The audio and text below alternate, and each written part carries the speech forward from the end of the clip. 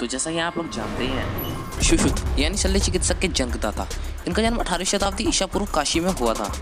और आज से 2500 साल पहले इन्होंने सबसे पहले प्लास्टिक सर्जरी की थी, यानी दुनिया की सबसे पहले प्लास्टिक सर्जरी 2500 साल पहले हुई थी इन्होंने शुशु संहिता नामक ग्रंथ की रचना की।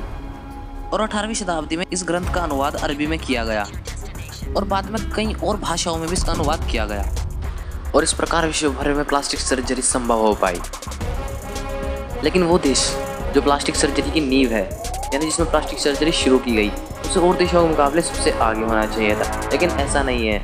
आज विश्व में भारत से आगे न जाने कितने देश हैं जो प्लास्टिक सर्जरी के इस पद्धति में भारत से आगे हैं, जबकि भारत में इस पद्धति की खोज की गई थी। तो और ऐसी बातों को जानने के लिए कीजिए मेरे चैनल को सब्सक्राइब और लाइक माई वीडियो